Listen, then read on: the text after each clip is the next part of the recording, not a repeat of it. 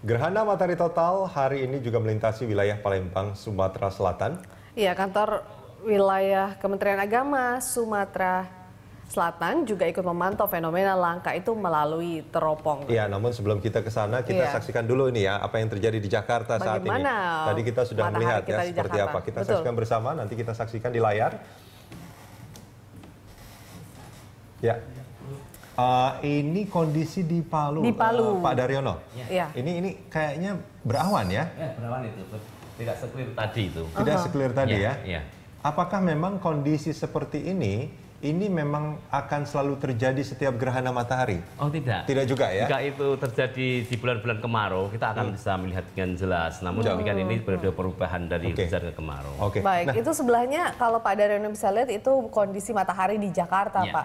Berbeda ya dengan Iya. kalau kita lihat dengan yang ada di Palu. Bahkan kalau kita lihat di Palu ini cenderung berawan atau mungkin dari pengambilan gambarnya saja. Anda melihatnya bagaimana, Nah, Pak? ini yang saya tidak tahu pasti, cuman dari tampilan ini tampak bahwa keduanya memang ada semacam ada selaput yang membuat pandangan kita kabur, jadi tidak clear. Eh, dan di Jakarta itu juga jelas eh, lima menit lagi itu mestinya sudah dipenuhi magnitude 90 persen, lima menit lagi. Lima menit lagi ya? Iya, hingga kita melihat itu eh, tampaknya di situ eh, Akan seperti apa sih, Pak? Sabit Apakah akan- sudah tidak kelihatan sabit lagi itu sudah mendekati itu. Eh, Namun Oke, demikian yang di yang di Palu, Jakarta ya? yang di Palu itu juga sudah eh, sebenarnya sudah mendekati fase-fase menuju kepada total. Ya. Tapi karena ada pendaran eh, selaput yang begitu tidak menjadikan Tebal untuk ya? kedua itu Iya. jelas sehingga kita juga sulit untuk nanti melihat apakah itu nanti eh, eh, periode corona kemudian eh, cincin eh, bele kemudian cincin eh, permata itu sulit Itu fase-fase yang Iya, ada iya. dalam proses itu. Itu eh, kalau di Palu kemungkinan besar akan terjadi corona. Kalau di Jakarta Iya. sendiri akan seperti apa sih, Pak? Nah, kalau di Jakarta tidak mungkin terjadi corona karena kita tidak eh, memiliki magnitude satu. Oke, cuma 90% tadi ya, apa 0,9. Pak Daryono, ini kita lihat Pak. Nah, itu yang di atas di Ya. monitor yang di atas ini Pak, yang Ya. sebelah kanan itu. Ya. Itu kan Palu itu nampaknya dia masih memang belum begitu terpenuhi Pak ya, masih Belum, jauh belum, Pak ya. belum, belum, belum. Masih jauh Tapi- ya. tapi Tapi bentuknya sudah seperti sabit Iya. gitu ya, Iya, Pak ya? Kalau kita bisa lihat dari Ya, kejauhan. Ini sudah menjelang magnitude satu. Sudah menjelang Ya. magnitude satu. Iya, iya. Kalau yang di Jakarta Pak, yang di sebelahnya? Eh, Jakarta itu jelas masih kelihatan eh, di bagian bawah itu terang sekali. Itu sekitar kurang 3-4 menit lagi. 3-4 Iya, menit iya, lagi ya. iya. Tiga atau Oke. empat menit lagi ya. Tidak sesignifikan yang terjadi di Palu eh, Iya. tampaknya begitu ya, Pak ya? Iya. Ini kalau kita melihat seperti ini, apa namanya? eh, mungkin orang Palu agak ngiri juga mungkin ya kalau Jakarta kayaknya.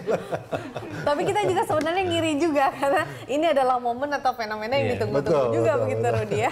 Sebenarnya posisi paling bagus itu nanti kalau seandainya clear itu Iya. kita dapat lihat di Belito, di di Tanjung Pandan. Tanjung Pandan. Itu sangat Oke. bagus sekali. Cuman eh, data yang terakhir itu ada memang ada tutupan awan Hmm. lebih dari 50% itu yang membuat kita bersedih. Ya. Lebih tebal daripada yang di Palu, Pak? Ya, ya, ya. Oh, Justru gitu. yang paling bagus itu berdasarkan perakiraan kemarin sore itu Palu dan mm, Balikpapan. Namun demikian eh, saya melihat juga itu di Palu belum begitu clear. Nah, Tapi- ini Ya, ya. ini ini semakin di Ya. eh, dekati gitu gambarnya ya di zoom. Tapi kalau kita melihat seperti ini, ini se- seperti bulan sabit jadinya Iya, ya. jadi Iya. seperti, Seperti bulan bulan sabit. sabit. suasananya memang sudah gelap bilang gitu. Ya. Eh, Oke. Oke. Ya kita memang, masih memang lebih dulu kita, Mbak. Eh, harusnya ya Pak ya, harusnya kita lebih dulu. karena kan matahari itu muncul dari timur dan Iya. bulan dari timur sehingga ketertutupan matahari oleh bulan yang dari timur itu barat duluan. Oh, Jadi gitu. Muko-Muko itu duluan, kemudian Tanjung Pandan, kemudian Palangkaraya, Balikpapan, Palu, kemudian Ternate. Oh gitu. Ya. Harusnya sebenarnya kita sudah melewati fase yang dialami Palu sekarang Oh, ya Pak ya, mungkin seperti itu. Tapi karena kita hanya 90% Ya ini baru begitu Pak. Ya sebentar lagi kurang kurang dua menit dua menitan itu. Dua menitan Ya ya? tapi memang kita nggak pernah mendapatkan magnitude satu artinya total nggak pernah kita dapatkan. Artinya mungkin sekarang di Belitung itu kondisinya sudah bisa jadi sudah satu. Nah, tidak ada gambar Belitung ini mas. Ah, ini yang nanti Kita kita, akan coba, kita akan ah, coba ya, mungkin tampilkan begitu, sana ya. Pak Tapi Daryono. kemungkinan artinya kalau lebih dulu artinya di Ya, Belitung sudah sudah, sudah, sudah masuk ini. gerhana matahari Iya. total.